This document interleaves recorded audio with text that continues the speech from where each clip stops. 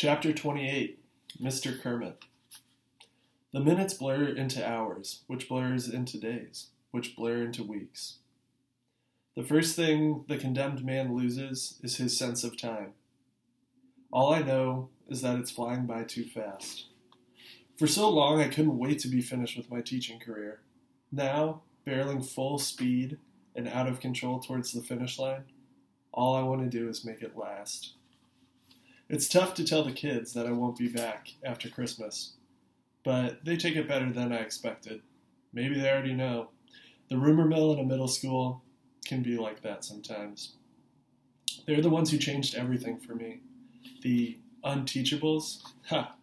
That's what happens when you put mind, a closed minded bully like Thaddeus in charge. A school district where wonderful students are tossed aside like trash. Parker the kid that has the reading problem, nothing more. The fact that no teacher ever bothered to find to find that out says more against Greenwich schools than any cheating scandal. Barnstorm, look at what they let him get away with because he happened to be a sports star. He never learned how to work before because he never had to. Elaine, I'm guilty as anybody for taking so long to figure out that Elaine is smart. And she is. She's also good at hiding it. Her reputation doesn't help. But teachers are supposed to see around things like that. Mateo, the school jumped to conclusions about the kid's quirky personality. They wrote him off. He deserves better. Rahim was allowed to sleep and doodle through 6th and 7th grade before he was dumped into SCS 8. Today, he's an absolute star over at the community college. But what's more important is how, how well he's doing in 8th grade. Aldo might be the only one who belongs in SCS 8, but he's come a long, long way. He passed that science test, and the fact that he did isn't half as amazing as the fact that he even bothered to try. Finally, Kiana. She never had any business being in the class. She just drifted in and stayed, and not a single faculty member, myself included, bothered to look into who she was or what she was doing there. True, it worked out in the end. Kiana is a huge part of what went right in room 117. But she could just as easily have fallen through the cracks, and all of her potential would have been wasted. What's going to happen to the kids on December 22nd when I have to leave? Kiana will be fine. She'll be back in California, and, anyways, a bright girl like that will always find a way to succeed wherever she ends up. But what about the others? Will the class get a real teacher? Or will the replacement be a babysitter? Or worse, a warden? It's too easy to see the progress of the past weeks being rolled back. Christina will try to do right by the students, but in the end, Dr. Thaddeus calls the shots. He might even kibosh the trips to Terranova Motors, which means so much to the kids. It hurts to admit, but the transformation of SCS 8 never could have happened without Jake. Part of it's the field trips, the time away from school. For kids like Aldo and Parker, the things that they learned learned about cars are among the first things they ever learned, period. Or at least learned without hating it. It might have started out as Jake trying to make up for his misdeeds of 27 years ago, but he's taken a real interest in those kids, and they know it. When someone cares about you, it's natural to respond. Strange that the man who used to be the 12 year old Jake should star in teaching my in my teaching rebirth. And his co-star, even stranger, Emma Fountain, daughter of my fiance, who married someone else. Emma may be a fish out of water in middle school, with her bucket filling and her good bunnies, but her energy and enthusiasm are boundless and pure. She awakened a love for teaching in me that was buried before she was even born. Lately, I've been covering Emma's classes while she takes the SCS 8 group over to the dealership. I can't bring myself to go there anymore. I've made a kind of peace with Jake, even started to like him a little, but it doesn't change the fact that he's the reason Dr. Thaddeus developed his grudge way back when. Better to stay in room 115, running circle time, and playing nursemaid to Vladimir. Emma's students are okay. Mostly, there are just too many of them. 43 minutes go by. A bell rings. A new crew is sitting there, looking exactly like the old crew. I can't tell them apart, not like the Unteachables, who are so distinctive and full of personality. Nobody is likely to mistake Aldo or Elaine for any other middle schooler. As the weeks fly past and December 22nd looms closer, I savor my time with the kids the way a gourmet lingers over a fine souffle. The class is, is spending so many afternoons at Terranova Motors these days that they're almost lost to me entirely. They leave on the minibus at 11 and barely make it back before the 3:30 bell. I read and reread Kiana's essays, lingering over her well-reasoned ar- reasoned arguments. I relish the discussions with Elaine and Aldo as they work their way through where the red fern grows. I listen for the faint sound of Parker whistling through his teeth, a surefire sign that he's reading without having to struggle over every word. I cherish these things because I know I won't have them much longer. At this point, every puffy tail I award may well be my last. At home, the walls of the apartment are closing in on me. It never bothered me before, but it's driving me crazy now. This is the future. Kicking around these two, two and a half rooms, one bath. I was planning to cash it in at the end of the year, anyways, but with early retirement, I would have been able to redecorate, maybe even move to a nicer place in a better part of town. For sure, I would have traveled. I might not have the money for that now. And, anyways, I'm so down that I can't think of a single spot on this green earth that I'm interested in visiting. Of course, I could look for a new job. There are other schools in America, but Thaddeus has pretty much taken care of that. How do you explain a prospective, to a prospective employer that you were fired for cause? Any Google search of the name Zachary Kermit will eventually spit out the words cheating scandal, and that'll be the deal breaker. Besides, at 55, I'm not exactly a spring chicken. Starting over from scratch isn't a very attractive option. Saturday morning, I shuffle into the kitchen to investigate the prospects for breakfast a cheese stick and a semi stale dinner roll. I've stopped food shopping again.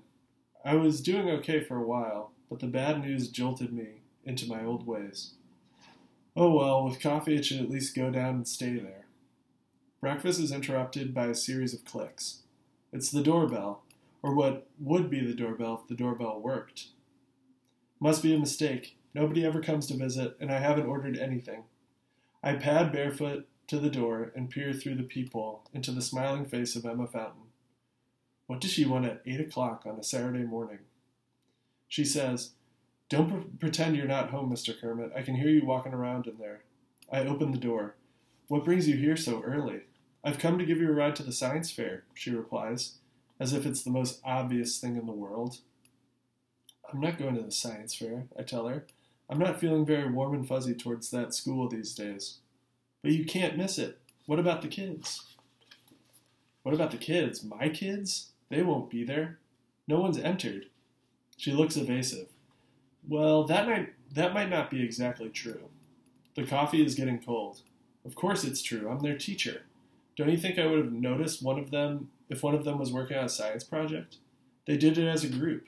I repeat, not possible. She drops the bombshell. They've been working on it at the dealership. It strikes a chord. The frequent extended trips to Terranova Motors. Emma accompanying the kids so I wouldn't see what's going on. They've been doing this behind my back. It all fits, except for one gigantic question. But why? They did it for you, she announces. For me? Why in a million years would they think I wanted them to? Then I remember.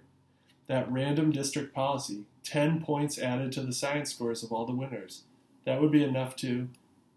They're trying to save my job. She beams. Isn't it wonderful?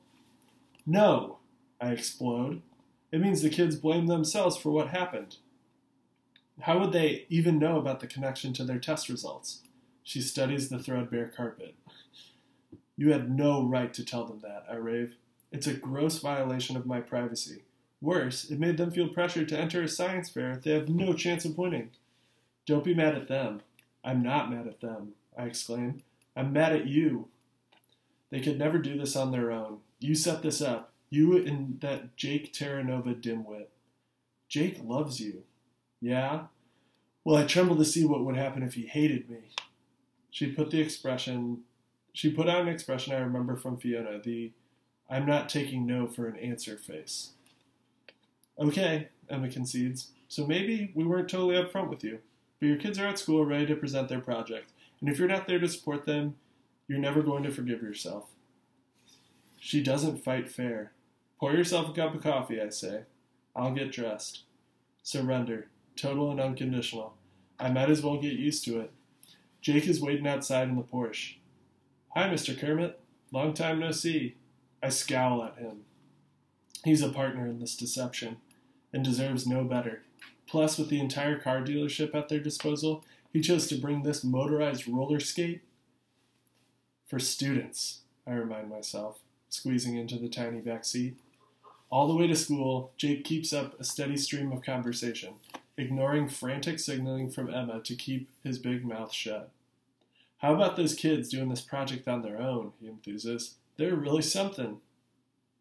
I'm too angry to answer. It's also it's also possible that I'm not too contorted in the back seat to make any sound. Sorry. It's also possible that I'm too contorted in the back seat to make any sound. I'm getting reacquainted with my knees, which are pressed up against my chest. When the Porsche re- reaches Greenwich Middle School, it takes two of them to drag me out of the car. A banner over the front entrance declares Greenwich Public Schools Science Fair District Champions. The parking lot is packed. The school halls bustle with students and parents. I forgot how popular the science fair is. I knew once, back when I cared about such things. Walking stiffly, zombie like, after the tight car ride, I lumber inside, following Emma and Jake into the gym, which is the epicenter. The large space is filled with long tables and colorful displays stretched as far as the eye can see. Students stand like sentries in front of their projects, excited and nervous, ready to face the judges. It's been a rotten day so far, but as soon as I spot the kids of SCS 8, I feel the corners of my mouth turning upward. Even though I'm against the science fair idea 100%, I couldn't be more proud. My Unteachables did this for me. Okay, I won't be their teacher for long, but I'm their teacher today, and I intend to act like it. Seeing me, their faces light up, and I smile wider. I must be losing my mind. A real teacher would be chewing them out, not beaming at them. I beam at them anyways because I they look so thrilled with themselves. Kiana, Aldo, Barnstorm, Mateo, Rahim, and Elaine. I approach the group. Where's Parker? With his grandmother, Kiana supplies. You'll see him soon.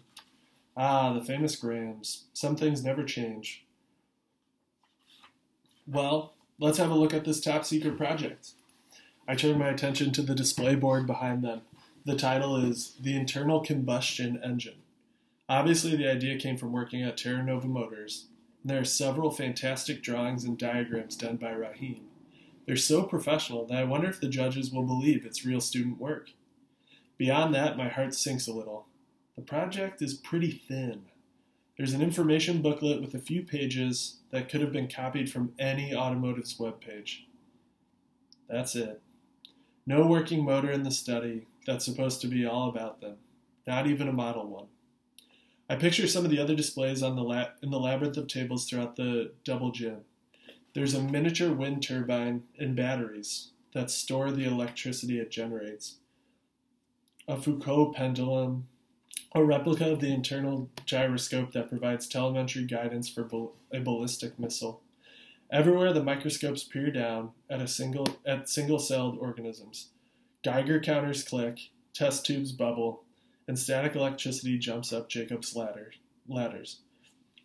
These projects come from the most talented science students in the entire district, not just Greenwich Middle School. The internal combustion engine is a nice effort, but it doesn't come close to anything else here. This is like entering a grape into a competition against a 200 pound watermelon at the state fair. Anger surges inside of me. Maybe Jake doesn't know any better, but surely Emma would understand that the internal combustion engine doesn't stand a chance of an ice cube in a molten lava against the other projects here. I take in the proud, hopeful faces of the Unteachables. It goes without saying that they're about to finish dead last. They could very well be laughed off the competition. The blow could destroy their confidence and undo most of the project of the most of the progress of the past weeks. The judges are at the very next table, practically chortling with glee as they watch a small robot shoot baskets at a Nerf hoop built out of a gigantic crate that is on display. Two men and, a woman, the high school science teachers going along with the professor from the local college.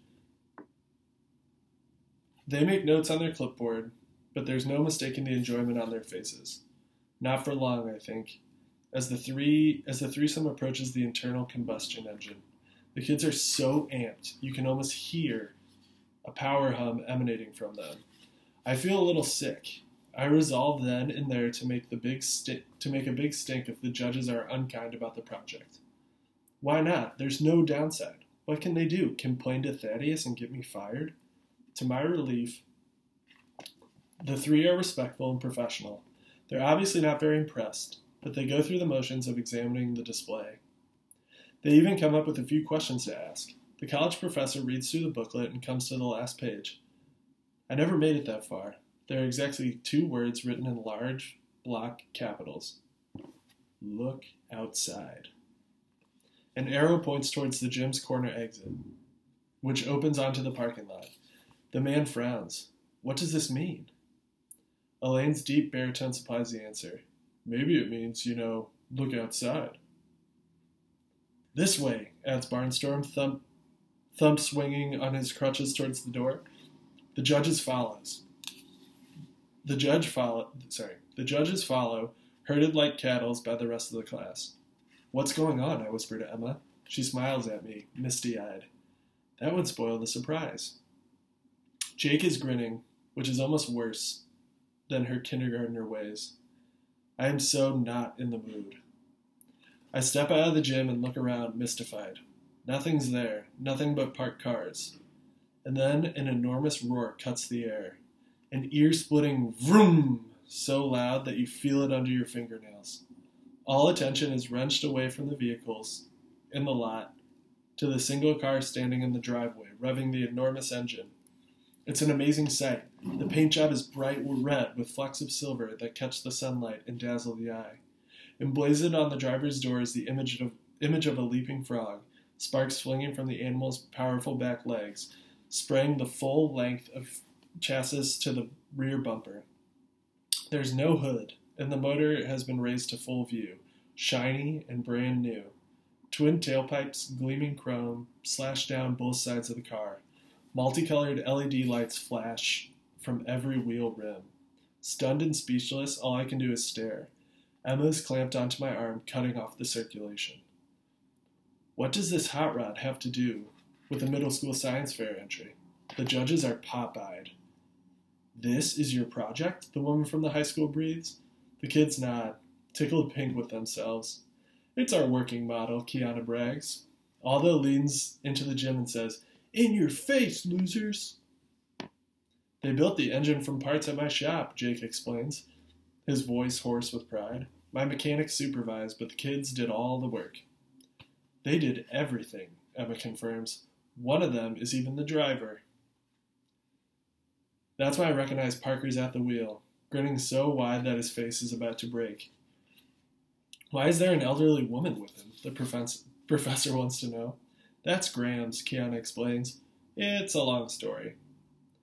They did a lot more than just put the engine in, Jake goes on. You're looking at new tires, rims, glass wipers, glass wipers, interior, and the bodywork. Remember, this car is 27 years old. I snap to attention. 27 years old? I can't believe I didn't see it before. Sure, it's rebuilt and all fancy and souped up, but the original shape is still there, hidden beneath the tailpipes and chrome and the blinding paint job.